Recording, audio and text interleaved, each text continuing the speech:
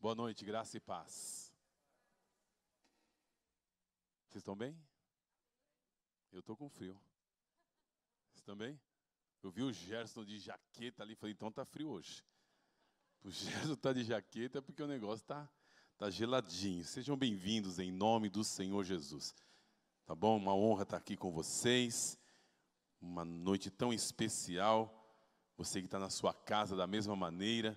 Temos ali aproximadamente 150 famílias reunidas conosco aqui, ao vivo, e eu vou acompanhando aqui os comentários da turma, o pessoal está interagindo. Tem uma irmã dizendo assim, quando o Danilo falava aqui de vir ônibus, né?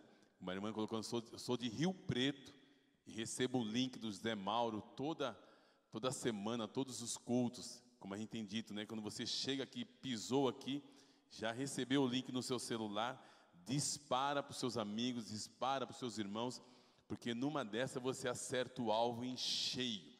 Um coração sedento, um coração precisando de uma palavra, corações precisando ser amados. Então, quando você tem essa atitude de amor, de honra, né, para com as pessoas, certamente você vai colher os frutos. Pode ser que você chegue no céu um dia, quando você chegar no céu, o, alguém venha te abraçar e dizer assim: lembra daquele link que você mandou para mim naquela terça-feira? Aquele dia transformou a minha vida. Isso é poderoso. Aquele link que eu recebi naquele culto mudou a minha história. Às vezes a gente está aqui na, nas ministrações, outro dia uma irmã falando para mim que o pastor Dudu liberou uma palavra de fé, de cura. Viu, pastor Dudu? Você nem sabe disso. E essa moça estava no carro com o marido dela, e ela tinha algumas dificuldades no seu, no seu útero, e na medida que ela estava ouvindo a mensagem, você liberou uma palavra de fé. E na hora, ela foi tocada no carro. Olha só, estava dirigindo, estava indo viajar, foi tocada no carro e ela foi curada no útero dela. Tremendo isso. Tremendo. E às vezes é um link que você compartilha com as pessoas e isso faz toda a diferença, muda a história. Como nós temos aprendido aqui, que a oração ela interfere no destino, na história das pessoas. Você quer mudar a vida de alguém, quer ver alguém sendo transformado, não é você falar para ela o que ela precisa mudar. Não, você vai lá no, no seu altar, no secreto com Deus e começa a falar daquela pessoa para Deus. Começa a falar para Deus daquela pessoa. Você vai ver ela sendo mudada. Começa a falar do seu marido para Deus. Começa a falar e você vai ter resposta. Ousa fazer isso. Fala, Senhor, estou apresentando aqui esta pessoa. A situação é essa, essa, essa e essa. Anote. Depois você vai ver a mudança. Você vai ver a mudança. Acredite. Ontem tive uma experiência junto com o pastor Osmar, orando por um irmão que está com Covid. E aí, na oração, o irmão estava com febre alta. E nós fizemos uma chamada de vídeo. E naquela hora você parece que não aconteceu nada. Mas no dia seguinte a gente vem a resposta. A, fé, a febre do. Vou falar fé, né? A febre do irmão desapareceu. Oração. Dois ou três concordarem acerca de qualquer coisa. Pode ser que isso, isso que eu estou falando para você, que não está aqui no esboço, possa ser uma resposta para você. Nós temos que arriscar mais, orar mais, concordar mais. E aí você vai ter a resposta e vai ter o retorno. Amém? Em nome de Jesus. Recebi também um retorno hoje. Lembra de uma moça, quem acompanha minha live vai saber, uma moça chamada Cláudia, que estava pedindo oração na live com câncer.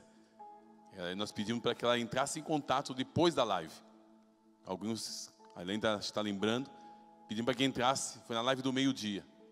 E essa moça entrou em contato conosco, nós fizemos uma chamada de vídeo com ela. Estava com câncer no, no colo do útero. Logo, logo vamos, vocês vão ter essa notícia com os exames e tudo.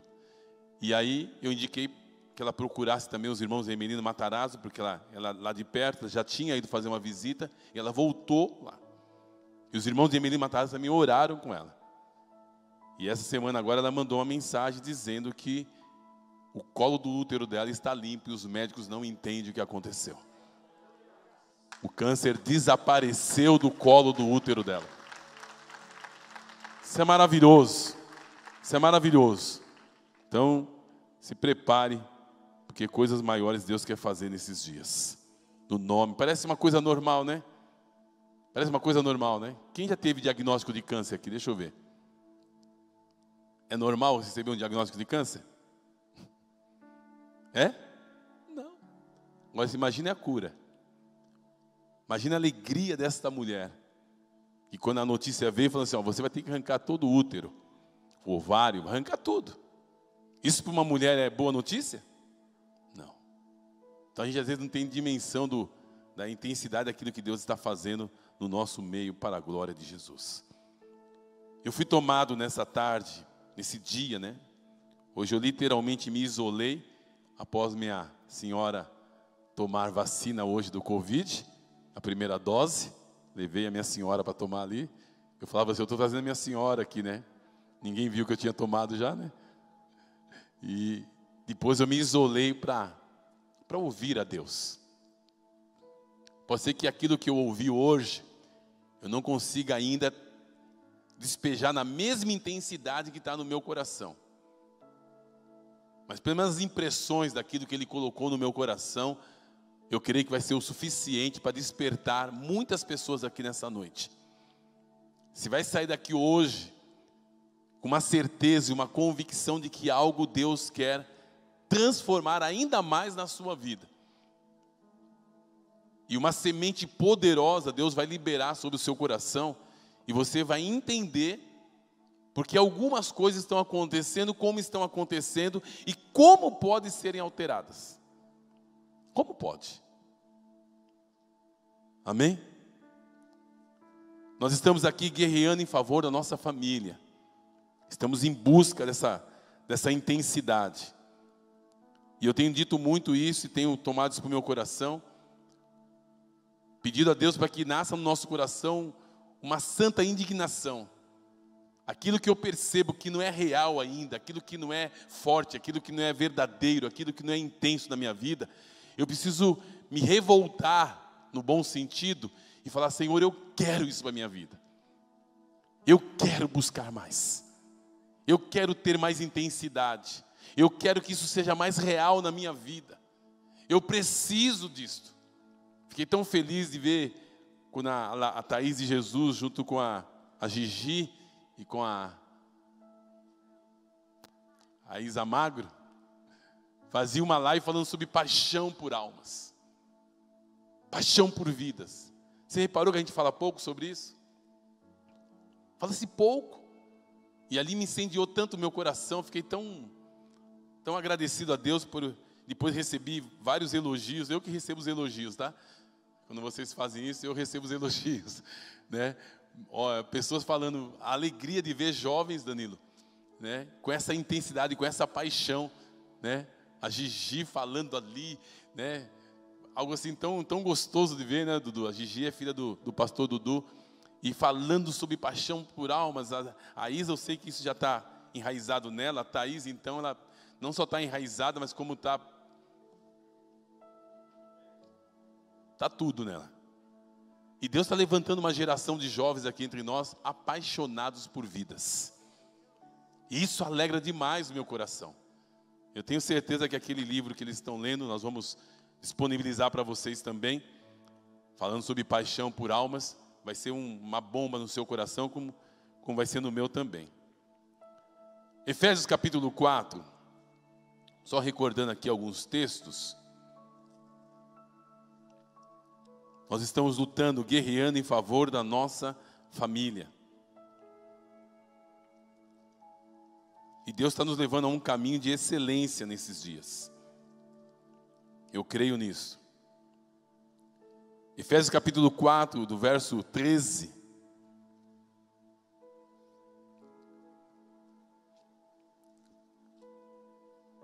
Eu vou do 11, só para entender o contexto. Verso 11 diz assim: Ele deu, ele designou alguns para apóstolos, outros para profetas e outros para evangelistas, outros pastores e mestres, com o fim de preparar os santos para a obra do ministério, para que o corpo de Cristo seja edificado,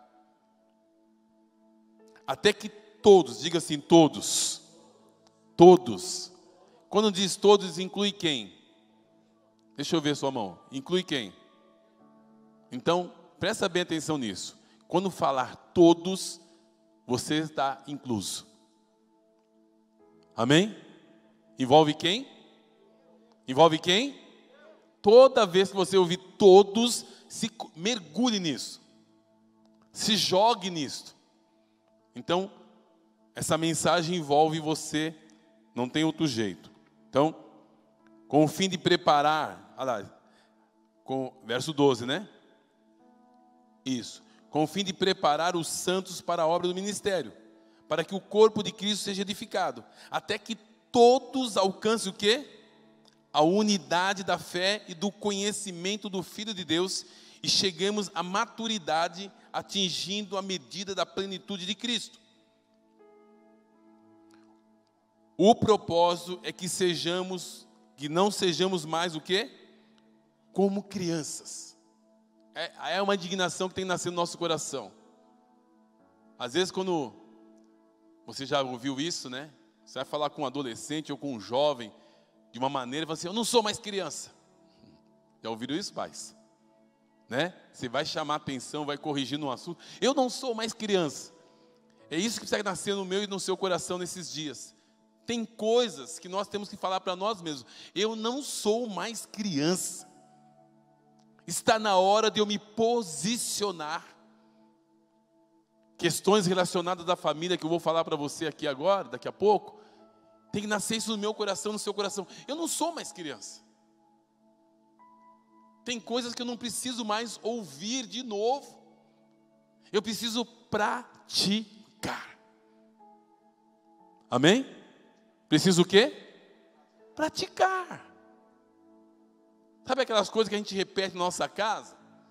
Pega a toalha, põe para secar, tira a cueca daí, põe no cesto. Você não sabe o lugar? É a vida toda. Toda. É as mesmas coisas, estou falando do dia do, do cotidiano. Agora, do reino, é a mesma coisa. Imagine se eu tiver que falar para o pastor Dudu, pastor Danilo, que eles são pastores. Ó, oh, lembra, vocês são pastores. Ó, oh, não falta no culto. Você já pensou? Eu preciso disso? Não. Então tem coisa que a gente não precisa mais. Né? Deus quer nos levar à maturidade, ao crescimento. Já já vamos entrar na questão aqui de como nós vamos atuar com a nossa família. Então, para que não sejamos mais como crianças, levadas de um lado para o outro, pelas ondas, nem jogadas para cá e para lá, por todo o vento de doutrina, pela astúcia da, ser, eh, da esperteza dos homens que se introduzem, o erro, ao erro. Então, diga comigo assim: eu não sou mais criança. Diga para a pessoa que está do seu lado, se for sua esposa, ela vai entender o assunto. Diga assim: eu não sou mais criança. Aí a esposa disse: Nem eu. Pronto. Alguns já estão dando 10 respostas já ali já. Eu estava esperando essa oportunidade para o pastor falar isso só para eu dar essa resposta. Então tá bom, já está dado o recado, em casa vocês conversam. Todos nós nascemos numa família. Quantos aqui nasceram numa família? Deixa eu ver. A menina fez assim, ó. Lógico, né, pastor? Então, quando nós nascemos numa família, os nossos pais têm uma expectativa que esses filhos cresçam, que se desenvolvam, né? Que estude, que fale, enfim, faça tudo aquilo que é normal. E quando isso não acontece, já começa a tomar providências, vai procurar um médico, vai buscar conselhos, começa a ter atitude, porque meu filho não está crescendo, não está desenvolvendo, alguma coisa está errada. Agora, trazendo para a realidade espiritual, você imagina o nosso Pai Celestial, quando Ele coloca um desafio no nosso coração, Ele nos alcança. A Bíblia diz: Não fosse vós que escolhesse a mim, eu escolhi a vós, eu vos nomeei para que vades e deis fruto, e o vosso fruto seja permanente. Então o Pai nos alcança, Ele dá um coração novo, dá uma vida nova, com a expectativa de que aquele filho vai crescer, que ele vai avançar, que ele não vai retroceder. Essa é a expectativa do coração do Pai, que cada dia mais todos nós venhamos a crescer. Então, o Pai deseja isso dos seus filhos. E olha só, e quando isso não acontece, será que não há uma dor no coração dele? E olha só, quando as coisas não, não correspondem no tempo certo, às vezes o tempo já passou e alguns estão vivendo como crianças ainda. E Deus não quer que você viva como crianças. Hebreus capítulo 5.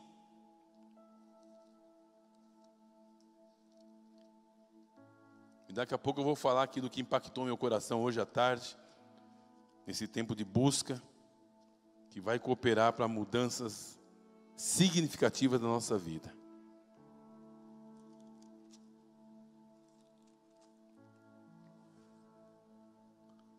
Hebreus 5, 12.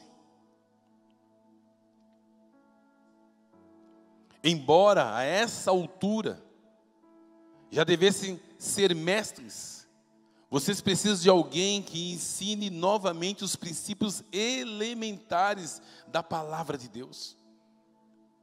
Estão precisando de leite e não de alimento sólido. Quem se alimenta de leite é é o quê? Criança. Você sabia que depois de adulto nós não precisamos tomar mais leite? Eu gosto demais de leite. A Vera já balançou a cabeça porque ela, né? É isso mesmo, Kalinka? Hã? É? É que eu não vi sua boca mexendo. Ah, está de máscara. São as nossas doutoras aqui, né? Chega uma idade a gente não precisa mais, porque o leite é para fortificar os ossos. Não é isso? A partir do sete anos. E nós estamos ainda tomando leite. Quem se alimenta de leite ainda é criança e não tem experiência no ensino da justiça. Mas o alimento sólido é para os adultos, quais pelo exercício constante. Exercício constante tornam-se aptos para discernir tanto o bem quanto o mal. Então, o desafio do coração do Pai para o meu coração, para o seu coração, é que nós venhamos exercer uma nova postura. E aqui envolve a nossa fé. No mês de abril, Deus nos deu privilégio de ouvir aqui sobre sermos revestidos. Esse revestimento é para você exercer a sua autoridade, a ousadia, o poder que Deus está liberando para você nesses dias, até mesmo na sua casa. E com base nesse texto aqui, podemos concluir que Deus espera dos seus filhos que eles cresçam. E ele sofre quando esse crescimento esperado não acontece. Agora, será que ele planejou que seus filhos fossem sempre crianças? meninos, meninas, e nunca chegasse a ser homens ou mulheres maduras espiritualmente falando. Então é tempo de crescer, é tempo de se desenvolver, é tempo de você anelar, desejar essa plenitude de Deus na sua vida, porque isso vai refletir. Presta bem atenção nisso, que vai acontecer com você. Isso vai refletir na sua família diretamente. Hoje eu tenho o privilégio de ir na minha família ou em outras famílias que eu tenho o privilégio de estar. Pela graça de Deus, a gente sempre vai na expectativa de servi-los, de abençoá-los. E as pessoas estão sempre na expectativa de você estar levando alguma coisa para abençoá-los. Isso é tremendo. Você imagina você ir num determinado lugar e as pessoas dizem para você assim: Eu estava esperando você. Eu lembro quando a gente ia para a Olímpia, na pousada que a gente ia, Uma mulher falava assim para nós, da recepção. Eu espero de seis em seis meses para receber vocês aqui, para ser aconselhado por vocês. Seis em seis meses. Por mim eu estaria todo mês em Olímpia. Não sei porquê. A TT fez assim, né, TT? A expectativa. A Bíblia diz que a natureza geme esperando a manifestação dos filhos de Deus. E essa expectativa as pessoas têm a seu respeito.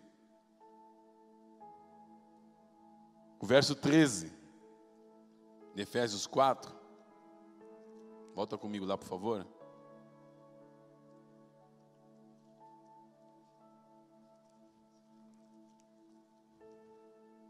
Fala em coisa boa, fica todo mundo feliz, né?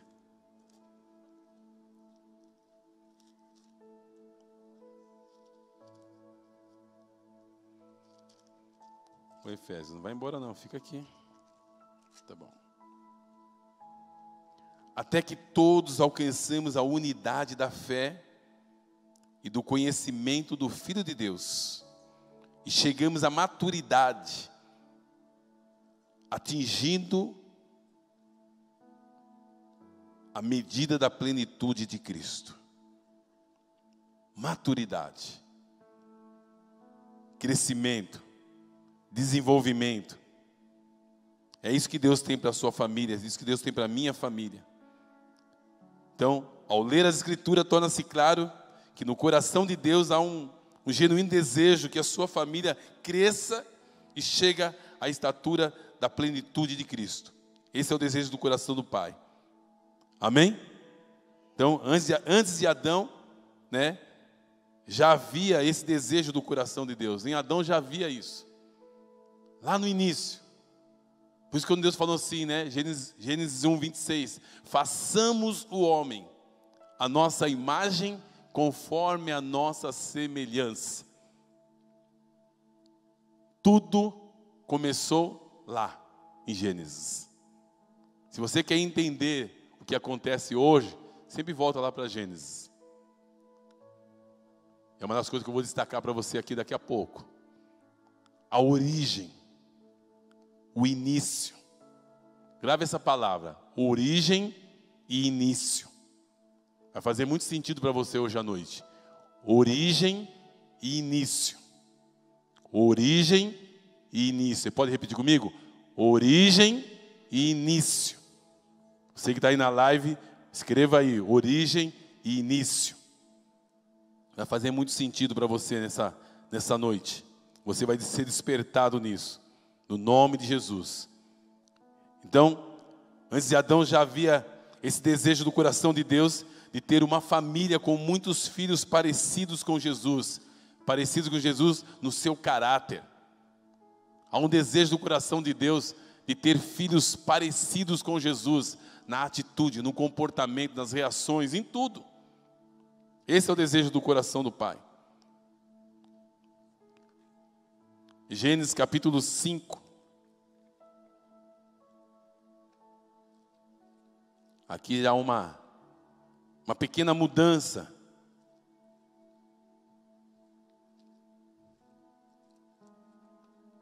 De rota. E fica a dica, né? Você estar anotando, porque isso vai, vai te ajudar a, a estar compartilhando na sua na sua célula. Os líderes já estão fazendo isso, anotando.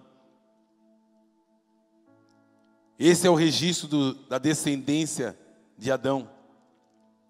Quando Deus criou o homem, a semelhança de Deus o fez. Aqui o homem já, já havia pecado, tá? No capítulo 5. O homem e a mulher os criou. Quando, quando foram criados, ele os abençoou e o chamou homem. Para um pouquinho aqui.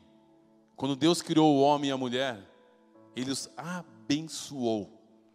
Ele o fez a sua imagem e a sua semelhança. Logo em seguida veio o pecado. E o pecado introduziu a morte. pecado introduziu o egoísmo. O pecado introduziu tantas coisas ruins que você vive, você vê hoje no dia a dia. E pode ser que você esteja até vivendo algumas situações na sua própria família, na sua própria vida.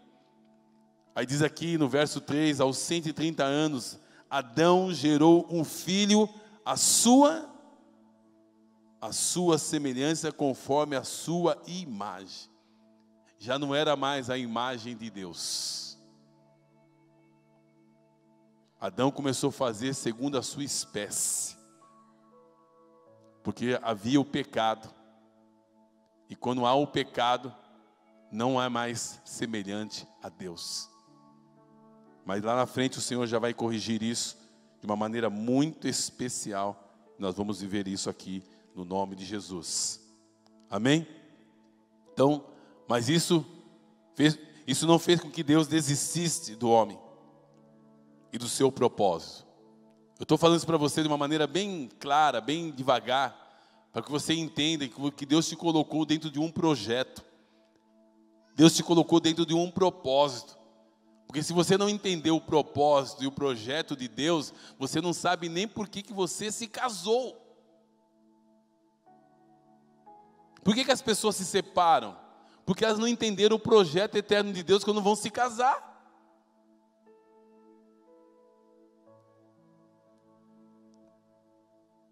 E quando as pessoas se separam, a primeira coisa que elas pensam é dividir os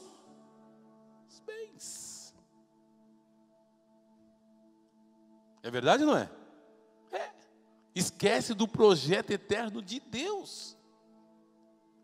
Eu sei que são vários fatores, mas quando o projeto eterno de Deus está claro, a dona Kátia sabe.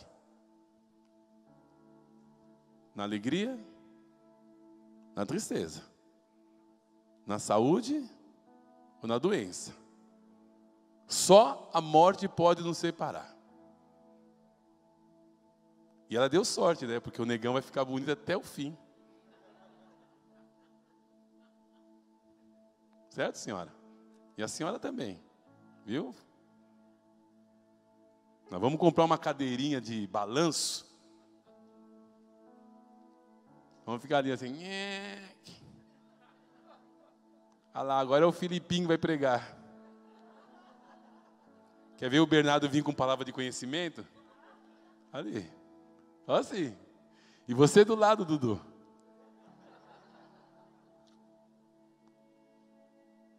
Vai ser assim. Que essa geração está chegando com tudo, né? Glória a Deus por isso.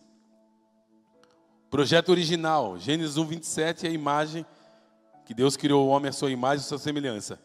Veio, veio Gênesis 5, Adão começa a fazer conforme a sua imagem. Pega essa palavra para o seu coração, Jó capítulo 42, verso 2. Projeta para mim, por favor. Jó 42, 2. Esse texto é para você tomar aí para o seu coração. Pega essa palavra para você. Encaixa na sua vida esse texto, por favor. Jó capítulo 42, verso 2. Sei que podes fazer quantas coisas? todas as coisas, e nenhum dos teus planos podem ser frustrados. Toma isso para o seu coração. Bem sei que tudo podes e nenhum dos teus planos serão frustrados. Essa é uma palavra rema para a minha vida. Eu rogo que seja uma palavra rema para a sua vida. Não importa o tempo, não importa a história, não importa o que aconteça. Bem sei que tudo, tudo podes, mas os seus planos na minha vida não serão frustrados. Acredite, Deus não erra. Amém? Então, ele resgatou em Cristo o seu propósito, e hoje em Cristo todos podem ser transformados à imagem, ao caráter de Cristo. Todos podem ser transformados. Deixa eu dar uma dica para você aqui. Quando você for falar de transformação de vidas, quando você for falar de ganhar alguém para Cristo, quando você for falar de orar por alguém, nunca coloque a seguinte questão: esse nunca vai ser salvo. Você está indo contra as Escrituras.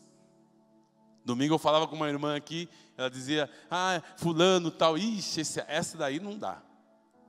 Falei, nunca mais se usa essa expressão. Porque a vontade de Deus é que todos sejam salvos. Quantos? Todos. Não importa o que a pessoa tenha feito, não importa a situação, o propósito é que Deus quer salvar a todos. E eu rogo que o mais encardido da sua família depois de você seja alcançado. Se Deus alcançou você, não vai alcançar seu familiar? Você com essa carinha de anjo aí, Alex? Se Deus alcançou você, não vai alcançar o seu familiar? Vai.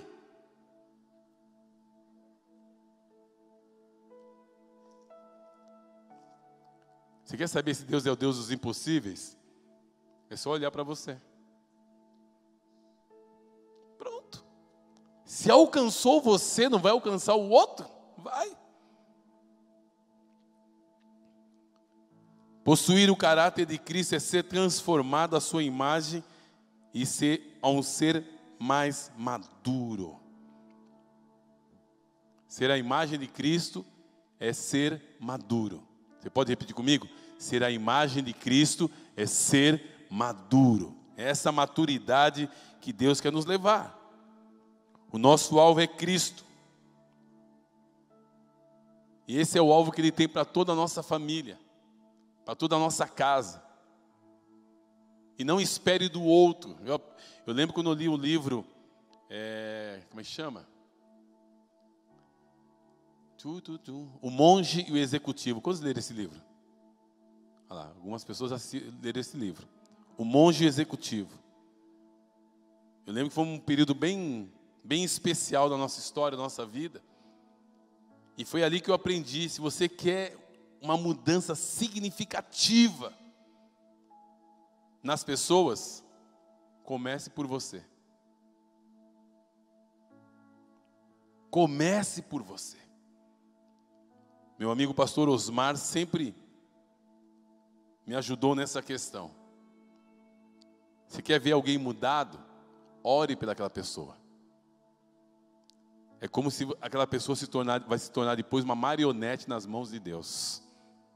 Eu quero ser uma marionete nas mãos de Deus. Amém? Caminhando. Esse é o anelo do coração de Deus para todos nós o nosso crescimento espiritual. E quando eu estava orando por isso, quando eu estava pensando em tudo isso, o meu peito começou a doer, literalmente falando. E não é força de expressão, doía mesmo. Por que, que as pessoas não atingem a plenitude? Por que, que as pessoas não alcançam a intensidade que o coração do Pai quer que elas atinjam. Aí começou a, a, a soprar no meu coração: origem. Origem. Início. Começo. E a princípio eu não estava entendendo, e Deus começou a trazer na minha mente várias situações, pelo qual eu vi Ele trabalhando na origem. Tudo começa na origem. Você vai entender já já, porque eu pedi para o Espírito Santo hoje trazer uma revelação. Ó, quando eu faço assim com a mão, não estou apontando para ninguém não, tá? Às vezes eu faço assim com a mão, jogo assim, né? As pessoas acham que eu estou mandando para ela assim, né? Não é não. Uma vez uma, uma irmã, só abrindo um parênteses aqui, uma irmã falou isso, né? Um dia ela encontrou com uma outra irmã, ele apontava para mim, ele fazia assim para mim. Falei, Jesus. Então eu preciso tomar cuidado. Às vezes se for também não tem problema, mas não é não. E Deus começou a falar sobre origem, início. Eu pedi entendimento, o Senhor falou assim, para o meu coração, as pessoas vão ter revelação, olha só.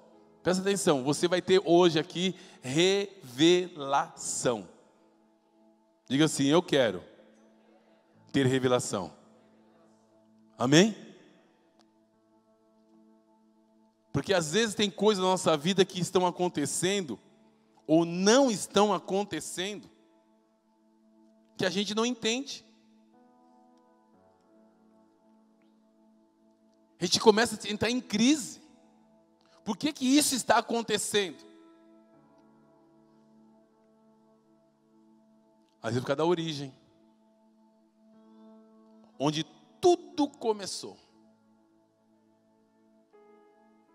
Onde tudo começou. Você pode ver, o que está acontecendo nos dias de hoje é porque as pessoas estão distorcendo a origem. O início. Deus estabeleceu valores, princípios, marcos na história, e as pessoas vão lá e mudam os marcos da história. Mudam os limites. Seu pai, a sua mãe colocou limites para você. O que, você faz? Vai lá e muda os limites. A origem, onde tudo começou. E eu peço ao Espírito Santo de Deus que ele passe um filme na sua mente, no seu coração, como passou no meu. Um filme. Literalmente. Você vai descobrir a origem. Com todo amor e carinho, diga para o seu irmão assim: você vai descobrir a origem hoje.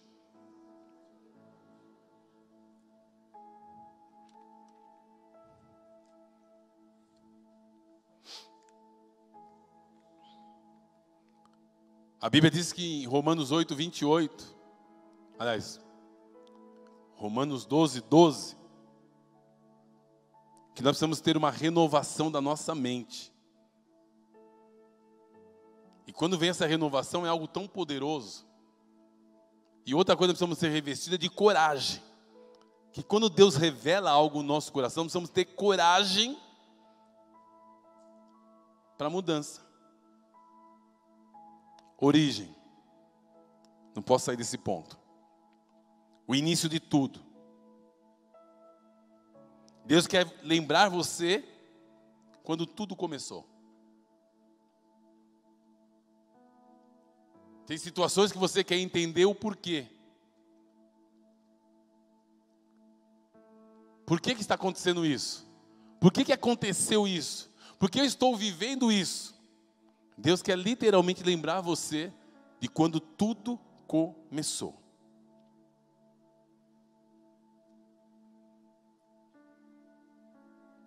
Êxodo 20, verso 5 diz que Deus visita a maldade dos pais dos filhos até a terceira e quarta geração.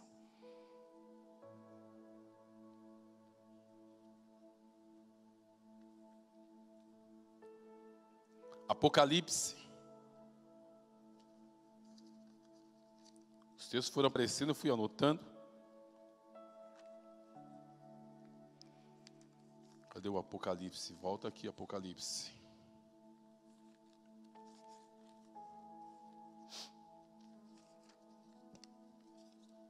Foi muito rápido, foi flashes. Apocalipse 2:5. Você vai lembrar exatamente desse dia. Lembre-se de onde caíste. Tem muitas pessoas que não conseguem voltar à prática do primeiro amor. Não conseguem ter intensidade com Deus. Não conseguem ter paixão pelo reino. E o Senhor diz assim: lembre-se de onde caiu.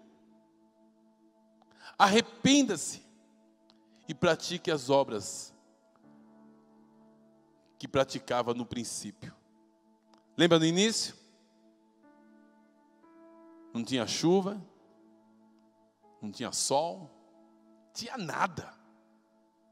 Vamos lá, vamos. Vamos no hospital? Vamos.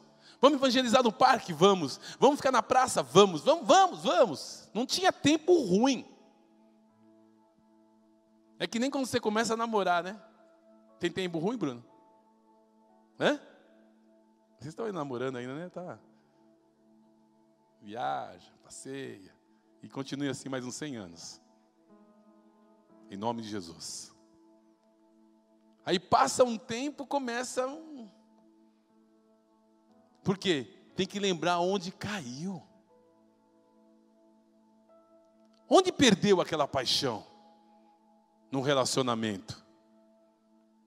Onde perdeu aquele, aquela intensidade, né? Que ficava assim e posta foto.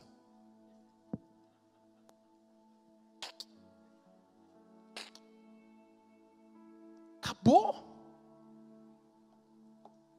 Mas pode ser que foi aquele dia que não concordou com as suas ideias.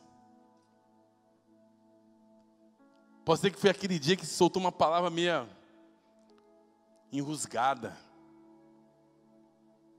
Pode ser que foi aquele dia que você foi receber um não.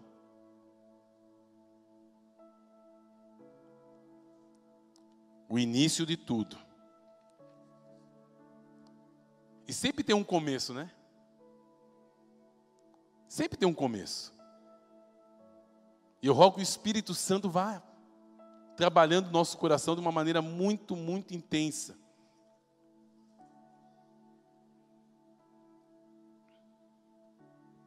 Quando tudo começou, na base, e quando eu falava isso com alguns amigos hoje, isso foi tomando o coração também de algumas pessoas, e e um dos amigos me mandou uma, um texto aqui que ele falava exatamente só para. Foi criado na nossa conversa. Se você errar na origem de uma edificação, ela crescerá comprometida. Melhor é parar e reconstruir a partir do erro na origem. Lembrei de uma história, meu pai foi visitar um, uma igreja que eles pastoreavam e deu uma direção para um obreiro construir uma parede. Chegou lá, a parede estava assim, ó. Torta. Aí falou: não. Aí teve que derrubar a parede e fazer uma parede, uma parede correta. Porque quando viesse o alicerce, viesse o telhado, ia cair tudo. E às vezes é assim que a gente faz, irmãos. A gente começa a ver uma coisa errada, a gente vai fazendo, vai fazendo lá na frente. Pode cair tudo. Eu já vi pessoas construir empresas copiando ou roubando projetos de outras pessoas. Você acha que vai para frente? Não. Não vai. Lembre-se de onde caíste. Tudo tem um começo. Você pode dizer para mim comigo? Tudo tem um começo, um início. Pode ser que seja numa desonra. Eu sempre, quando vou fazer casamento, eu sempre gosto de checar com os pais e com os noivos se os pais estão de acordo. Hoje já caiu de moda isso, mas eu continuo fazendo.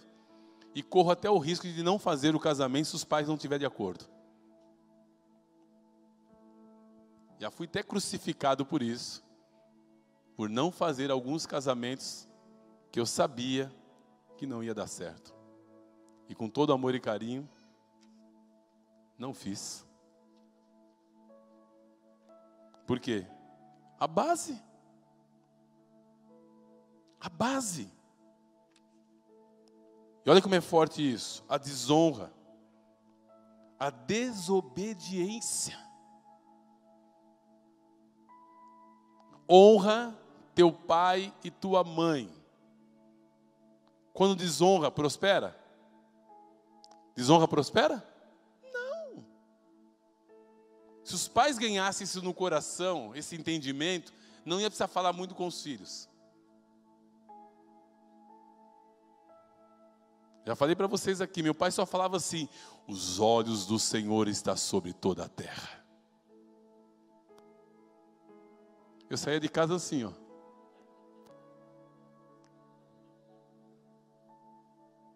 Eu queria fazer algumas coisas erradas e não conseguia. Por quê? Os olhos. Grava isso. Vamos repetir junto que tem pessoas aqui que vai olhar para o céu depois. Vamos juntos? Os olhos do Senhor está sobre toda a terra. Quando você for fazer alguma coisa que não está batendo, você pode escrever, você vai lembrar disso. Onde você vai, filho? Ah, eu vou em tal lugar. Então tá bom. Os olhos do Senhor estão sobre toda a terra. Não precisa falar mais nada. Que as mulheres ciumentas, então, fala assim para o marido: marido, os olhos do Senhor estão sobre toda a terra. Aí ele vira para você também essa palavra. Quando a gente ganha essa consciência, dá para pecar? Dá? Dá para roubar? Não. Dá para mentir? Hã? Dá para enganar? Não. Porque os olhos do Senhor estão sobre toda a terra. O início de tudo. Ah, meu trabalho não está dando certo, as coisas estão dando tudo errado.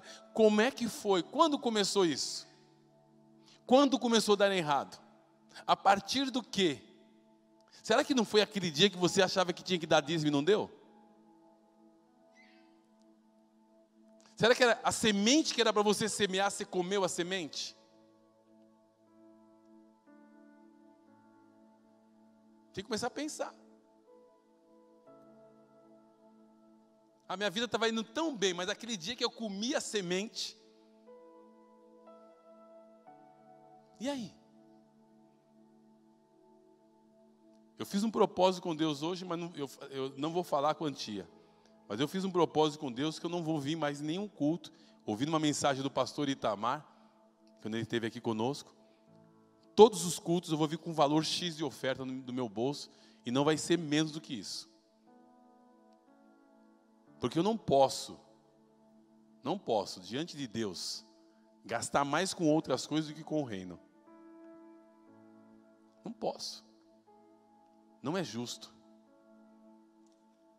Isso é um propósito que eu fiz com Deus, Ele sabe, e eu vou cumprir pela fé. Quando tudo começou, quando tudo começou a dar errado na relação pai e filhos, teve um dia, alguma coisa aconteceu. É isso que nós vamos ganhar no nosso coração, e nós vamos orar por isso daqui a pouco. Alguém fala sempre assim, né? No que, que eu errei? É só a gente pedir para o Espírito Santo. A Bíblia diz que o homem espiritual discerne bem todas as coisas. A gente pede para o Espírito Santo, Espírito Santo revela ao meu coração. Pode ser que Deus vai te levar a pedir perdão para o seu pai, para sua mãe. Pode ser que o Espírito Santo te leve a pedir perdão para sua esposa, aquele dia que você deu aquela palavra que foi um verdadeiro coice. E na cara de pau você foi dormir. Pode ser. Pode ser que seja aquele dia que você desejou que ele morresse. Ah, se ele morresse, seria uma bênção. Já vai para o céu logo. Pode ser. Estou dando aqui só subsídios para você. Pode ser também que foi aquela concessão. Abriu uma exceção. Abriu uma brecha. Abriu uma brecha. E não houve arrependimento. Não houve. E continuou. A brecha ficou aberta.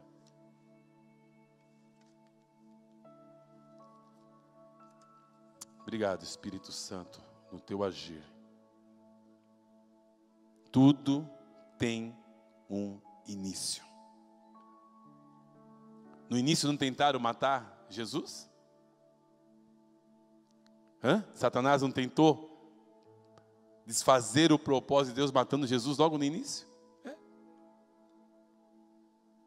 Pois nossas crianças são profundamente atacadas hoje. Verdade não é? O maior ataque hoje nas crianças. E se nós não protegemos a mente e o coraçãozinho delas, o ataque é violento. Violento. Por isso eu peço aos pais: protejam os seus filhos. Protejam. Protejam as suas filhas.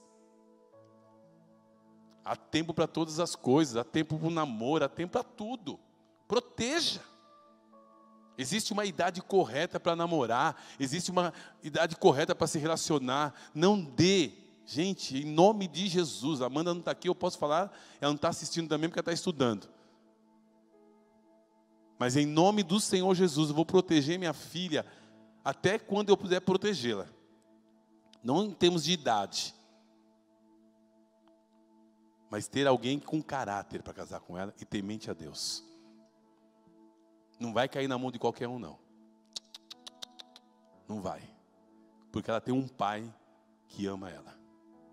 Não vai ser falta de amor, não. Por isso que eu falo para os pais: tem filha menina? Põe no colo, beija, abraça, diga que ama, cuide. É isso que tem que fazer com as meninas. Se você não fizer, vai aparecer aí um, um chonco aí.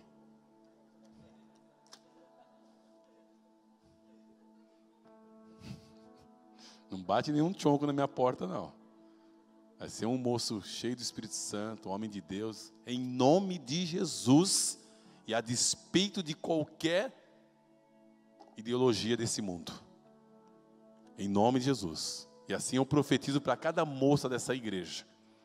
Todas elas, todas, moças solteiras. Vai ser do padrão do, do Bruno assim para cima.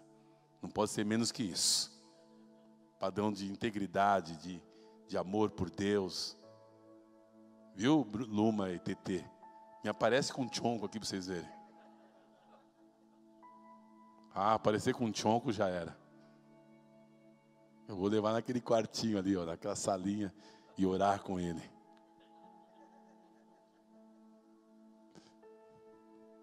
Ser pastor é isso. Pastor é cuidar das ovelhas. Amém? Amém? Porque fizeram isso comigo, gente.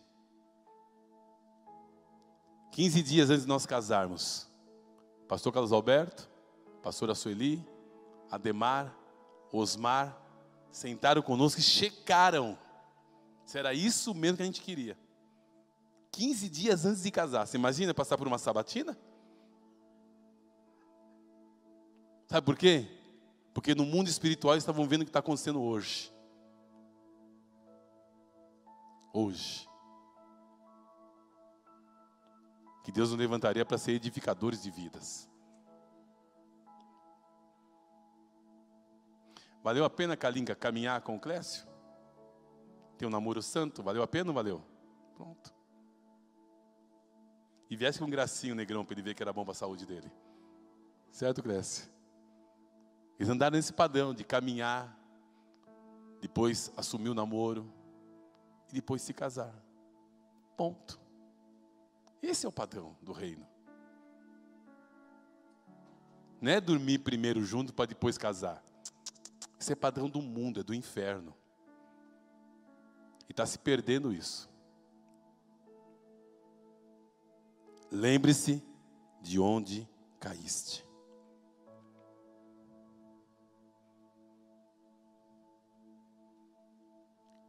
E vou encerrar com Isaías 30, 15. Esse texto falou comigo tanto no sábado. Ixi, não vai dar tempo disso, só vou citar só o texto só. Falou com você ontem? Os irmãos do louvor podem vir aqui só para dar aquela impressão que está acabando?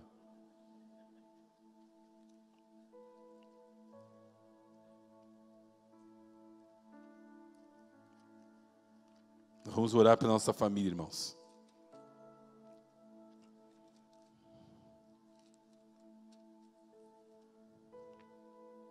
Obrigado, Espírito Santo. Obrigado, Espírito Santo.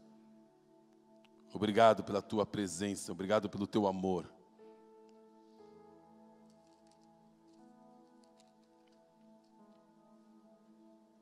Olha só para esse texto, por gentileza. Diz o soberano, o santo, o Senhor, o santo de Israel: No arrependimento e no descanso está a salvação de vocês. Na quietude e na confiança está o seu vigor. Eu sempre, quando li esse texto, eu sempre parava nesse ponto. Achava que a continuidade não fazia muito sentido. Mas a continuidade vai fazer sentido já já. No arrependimento. Quantas vezes Deus nos chamou para o arrependimento? Muitas vezes. O que é arrependimento? Arrependimento é mudança, é transformação, é mudança de mente, é metanoia. Arrepender-se é mudar a mente. Arrependimento é você estar tá indo num caminho, você volta. Isso é mudança. E no descanso, o que é descanso? O descanso está a salvação, ou seja, no descanso você para. Você para. Houve arrependimento, houve mudança, agora você para. Foi quando você se converte ao Senhor, a Bíblia diz que o véu é tirado. Agora olha só a continuação do texto. Mas vocês não quiseram. Pode continuar, por favor. Vocês disseram: não, nós vamos fugir a cavalo. Se fugir a cavalo significa assim: eu vou fazer na minha força. E fugiram. Vocês disseram: cavalgaremos cavalos velozes. Velozes serão os seus perseguidores, está dizendo o Senhor. Não, eu vou fazer na minha força. Não pode achar que eu faço. Não pode achar que eu tenho. Eu vou tomar essa atitude. Não, eu caso, eu descaso, eu faço tudo. Caminhando por favor. Mil fugirão diante da ameaça de um, e diante da ameaça de cinco, todos vocês fugirão, até que vocês sejam deixados, presta atenção nisso, irmãos, como um mastro no alto de um monte, como uma bandeira numa colina. Isso chama-se exposição. Toda vez que a gente não ouve a voz de Deus, toda vez que a gente não obedece os nossos pais, toda vez que a gente não obedece a palavra, a gente fica exposto. Fica ou não fica? Fica. Mas Deus é tão misericordioso, Ele é tão amoroso. Olha o verso seguinte: Contudo, o Senhor espera um momento de ser bondoso com vocês, conosco ele ainda se levantará para mostrar o que? Compaixão. Deus ama tanto a gente, tanto, que Ele espera o momento certo. Olha como é a misericórdia de Deus. Ele, ele vê você fazendo tudo que você faz. Ele vê você tomando as decisões que você toma. Ele vê você fazendo tantas coisas, mas ele fica aguardando esse momento. Pode ser que ele esteja aguardando esse momento de hoje. para usar de compaixão conosco, pois o Senhor é Deus de justiça. Como são felizes todos os que, o que nele esperam. É um pouquinho de tempo. O que há de vir virá e não tardará. Pode ser que a sua bênção está tão perto de você que você nem imagina. É um pouquinho de tempo, é mais um passo de fé, é mais um culto, é mais uma reunião, mais um encontro, mais uma célula. Deus quer liberar algo sobre a sua vida e de repente nós estamos querendo pegar os nossos cavalos, nós estamos querendo fazer na nossa força. Por isso que eu aprendi que fé não é força, fé é rendição. Sem fé é impossível agradar a Deus. Vamos ficar em pé todos juntos, por favor.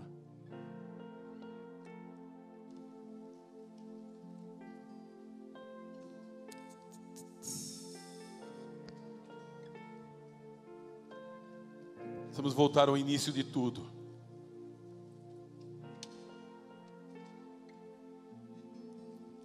Oh Espírito Santo maravilhoso. Você pode fechar seus olhos? O momento mais crucial dessa reunião seria o, momento que você fechasse seus olhos e pedisse ao Espírito Santo para revelar o início. Você pedisse ao Espírito Santo para revelar o começo. Que você pedisse ao Espírito Santo para revelar a origem. Por quê, Senhor? Quando foi? Eu quero me arrepender. Eu quero mudar. Eu quero pedir perdão. Eu quero voltar atrás. Quando foi, Senhor? Mostra para mim, Senhor. Mostra para mim, Senhor. Aonde eu errei. Não para que eu fique culpado, cheio de condenação, não. Para que Isaías capítulo 15, 30, do verso 15 em diante, venha se cumprir na minha vida. Que a misericórdia, a compaixão do Senhor venha tomar o meu coração. Pode ser que foi um clique. Pode ser que foi uma palavra. Pode ser que foi uma aliança errada. Pode ser que foi o concordar com algo errado. Pode ser que foi a desonra. Pode ser que foi a desobediência. Espírito Santo maravilhoso. Começa uma, um rebuliço nas famílias. Começa um rebuliço nos corações. Porque quando nós, nós reconhecemos, ó Deus, diante de Ti, aonde foi que nós caímos. Automaticamente, quando a gente pede perdão, o Senhor nos traz de volta. Por isso eu te peço, Espírito Santo maravilhoso, usa de compaixão, mostra a tua bondade, Senhor, para conosco. Ah, isso vai atingir diretamente o coração da nossa família, vai atingir o coração direto dos nossos familiares. Ah, várias áreas da nossa vida vão sofrer uma alteração bombástica, em nome do Senhor Jesus. Em nome do Senhor Jesus. Contudo, o Senhor espera o momento de ser bondoso com vocês. Ele ainda se levantará para mostrar-lhes a compaixão. Pois o Senhor Deus é justiça. Deus não tem prazer no sofrimento dos seus filhos. Deus ama a prosperidade dos seus filhos. Deus não tem prazer nem na morte dos seus filhos. E como são felizes todos os que esperam nele. Pai, no nome de Jesus, nesse momento eu te peço, traz na mente e no coração. Não é para trazer culpa nem condenação, mas é para trazer arrependimento. Em nome de Jesus. Em nome de Jesus. Em nome de Jesus. Esse nome que está acima de todo nome. Ah, marido, ah, esposa. Marido, pede depois perdão para sua esposa pelas palavras torpes que saíram da sua boca. Quem bate esquece, mas quem apanha nunca esquece. Peça perdão, esposa, no desejo que você teve de que ele literalmente morresse. Peça perdão a Deus. Peça perdão a Deus nesse momento. Peça perdão a Deus, marido. Certamente a sua atitude vai mudar completamente daqui para frente. Peça perdão, filhos, para os pais. Peça perdão a Deus quando você desonrou o seu pai e a sua mãe. E hoje você colhe os frutos disso. Peça perdão a Deus nesse momento.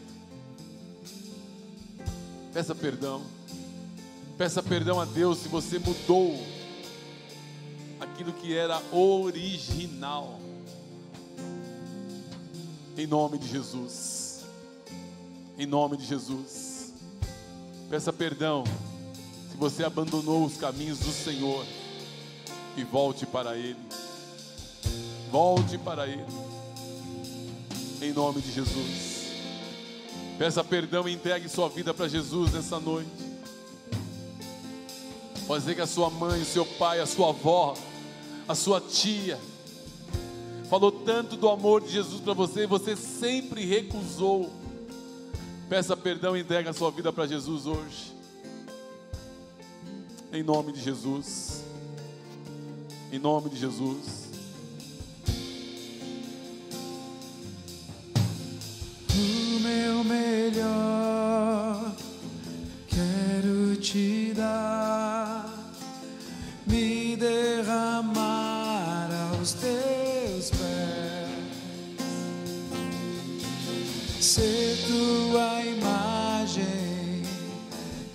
semelhança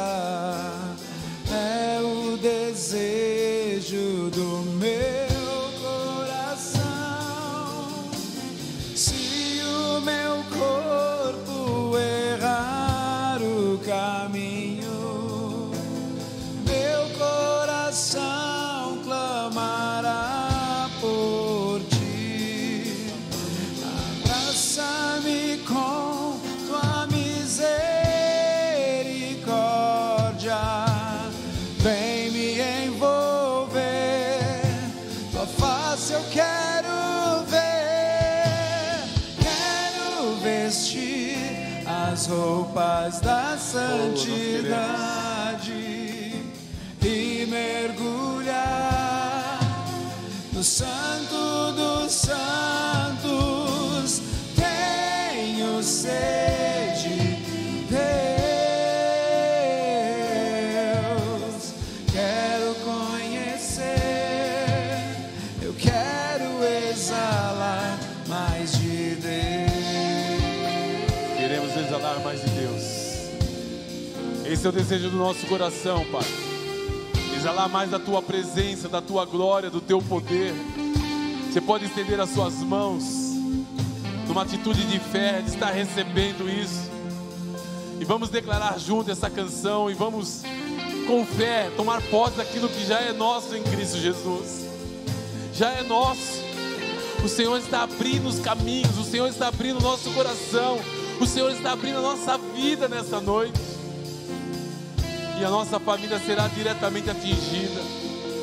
As suas mãos estendidas, vai recebendo aí no seu coração. Vamos declarar essa declaração novamente, dessa canção, em nome de Jesus. o meu melhor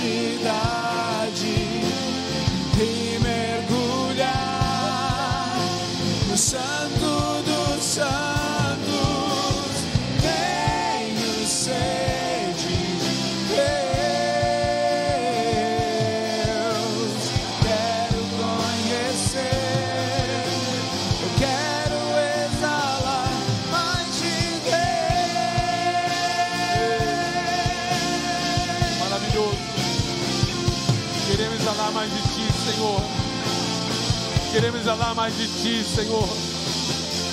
Vem com a tua presença, vem com a tua glória sobre as nossas vidas. Em nome de Jesus. Se eu errar o caminho, Senhor. Meu coração clamará por Ah, Ele vai ti. clamar por ti.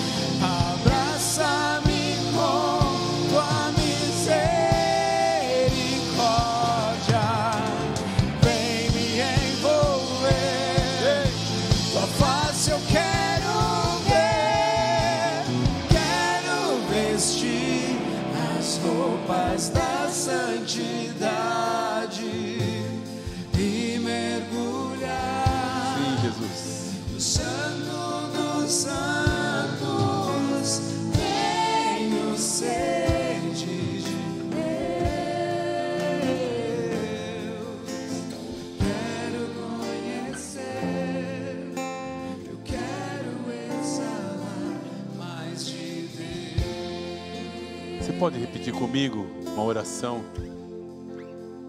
Diga assim comigo: Senhor Jesus, muito obrigado, porque o Senhor fala ao meu coração, e eu quero promover essas mudanças na minha vida. Eu creio que a palavra que foi liberada ao meu coração vai atingir diretamente a minha família.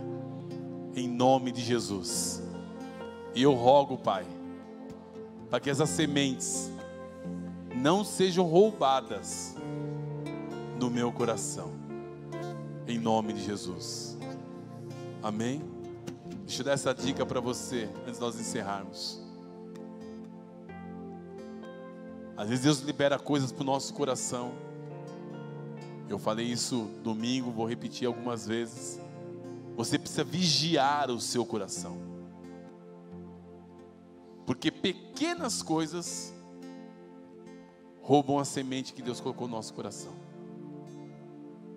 Pequenas coisas, atitudes, falas, reações roubam a semente.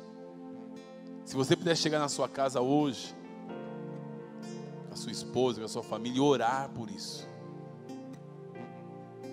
Para que nada que o Senhor tenha liberado sobre a sua vida, nada venha roubar. Amém? Se tiver que fazer algum acerto, peça sabedoria a Deus para fazer o acerto. Até nisso precisamos aprender, gente. Senão chega lá agora e fala assim: tá vendo? Aquele dia, Juliana. Juliane, piorou já. Chamar de errado o nome, vai apanhar mesmo. Já falou o nome da mulher errado, já era. Cadê o? Cadê o, cadê o marido? Cadê o marido? Está trabalhando, está em casa. Então, quando for fazer o acerto, peça graça. Quer ver uma dica que eu te dou? Quando for fazer acerto com alguém, fala assim: olha, eu queria primeiro pedir perdão para você. Porque eu errei com você. Eu fiquei com meu coração assim, assim, assim. Você me perdoa? Ah, mas foi ele que fez, não tem problema. Você pede perdão porque você ficou chateado. E você deixou aquela mágoa entrar no seu coração. É assim que resolve. Você abre mão da sua razão e você é feliz. Abre mão. Ah, mas eu estou na razão. Abre mão da razão. E você vai ver que muda tudo. Amanhã, marido, quando você voltar para casa, tem pudim. Pudim de leite. Eu estou falando do meu gosto, né? Pode ser que o seu seja bolo de chocolate, torta de morango. Ah. Imagina, mulher. Seu marido fala assim: sábado vamos comer fora. Acabou.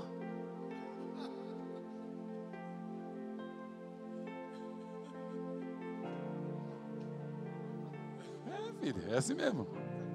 É isso aí. Começa a mudar nas atitudes e nas pequenas coisas. Eu falo isso brincando, mas o efeito disso é bombástico.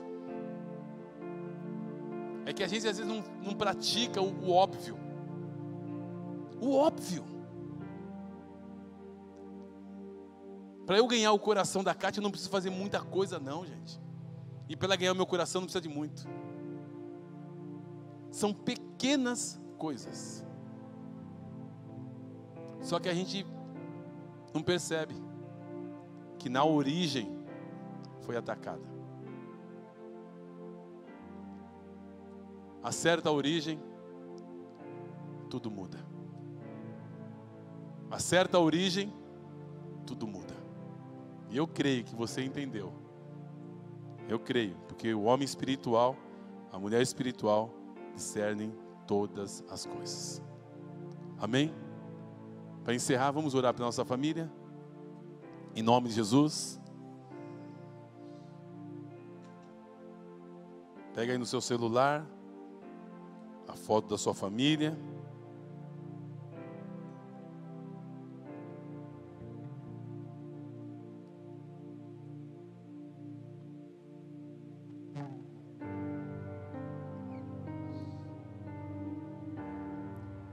Pai, no nome de Jesus, nós apresentamos diante de Ti, Pai, a nossa família,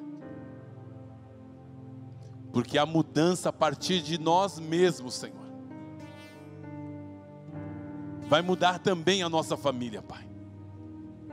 Por isso eu rogo agora, Paizinho querido, no nome de Jesus, que aqui nesta noite, nesta noite, na transmissão, Senhor, o Senhor está levantando verdadeiros promotores de esperança. Verdadeiros promotores de esperança. Haverá esperança para muitas famílias a partir destes. A partir desses aqui que estão aqui assistindo, ó Deus, no presencial e no online. Ah, papai, no nome de Jesus, verdadeiros promotores de esperança, agentes de milagres os milagres vão acontecer através desse marido. Os milagres vão acontecer através dessa esposa, meu Deus. Em nome do Senhor Jesus. Para a tua glória e para o teu louvor, Pai. Nós profetizamos sobre os nossos filhos, profetizamos sobre todos os nossos familiares. Uma verdadeira revolução, meu Deus. Em nome de Jesus. Para a tua glória e para o teu louvor, Pai. Aumenta, Senhor. Aumenta a fome, aumenta a sede, aumenta a intensidade, aumenta a paixão nos corações, meu Pai. Em nome de Jesus. Assim eu te peço, para a tua glória e para o teu louvor. Que seja assim, no nome do Senhor Jesus. Vamos aplaudir ao Rei da Glória. Em nome de Jesus. Em nome do Senhor Jesus. Amém? Essa série poderosa vai se encerrar, teoricamente, dia 30. Gente, ligar o ar-condicionado está congelando a minha testa. Não sei quem foi. Hã? Estou dando, dando algum aviso, mas está vindo assim, ó. Congelado. Meu Pai Celestial. Bom, domingo que vem, tanto pela manhã como à noite, Deus colocou um desafio no meu coração da gente tratar diretamente nas questões que envolve o assunto chamado rejeição na família. Tanto domingo de manhã, domingo à noite eu vou, pela graça de Deus, vou pedir graça para Deus para mesclar o assunto perdão e rejeição. São dois assuntos que nós precisamos aprender a lidar com ele, para a gente lidar com os nossos. Como estão entendendo? Nós precisamos aprender a lidar com a questão do perdão e da rejeição, para a gente poder aprender a, lidar com as pessoas que envolvem as nossas famílias, que estão ao nosso redor. Deus vai dar um amp no seu relacionamento. Deus vai dar um amp na sua família. Amém? Orem por isso. Domingo Deus vai jogar uma bomba santa sobre nós. Amém? Que o Senhor te abençoe, que o Senhor te guarde, que o Senhor faça resplandecer o seu rosto sobre ti e te dê a paz. Eu amo você, uma ótima semana, um beijo no seu coração e até já já. Em nome de Jesus.